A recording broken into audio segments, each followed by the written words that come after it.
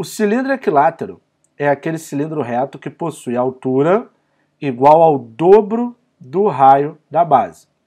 Sabendo que o volume é calculado pela fórmula πr ao quadrado h, quanto mede o volume de um cilindro equilátero que possui raio igual a π. Eles foram bem legais, né?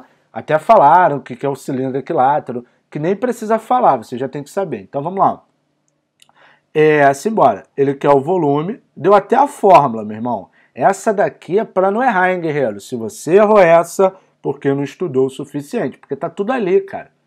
Aí ele fala que o raio é π. Só que esse cilindro ele é equilátero. Como ele é um cilindro equilátero, a altura é o dobro do raio. Ele falou ali, ó. Ele falou, ó. Então a altura é 2π. Agora é só substituir na formulazinha do volume, ó. Só substituir na formulazinha do volume. O volume é πr ao quadrado h. Então o volume vai ser π vezes o raio, qual é o raio? π vezes a altura que é 2π. Pronto, esse vai ser o volume.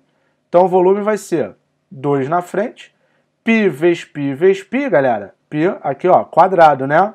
Raio ao quadrado, ó. O raio não é π? Vai ficar πr ao quadrado, π ao quadrado, vezes 2π. Tudo bem? Aqui, galera, o que, que você vai fazer? Você vai repetir o π e vai somar os expoentes. Aqui é 1, aqui é 1. Então fica 2π elevado a quanto? 4. Esse é o volume. 2π4. Qual é o meu gabarito? Letra D. Então, de novo, ó. Volume é πr ao quadrado. π é π. O raio é π, fica π ao quadrado. E a altura é 2π. Então fica 2π 4. Show de bola, show de bola. 2π4, letra D de dado. Maravilha?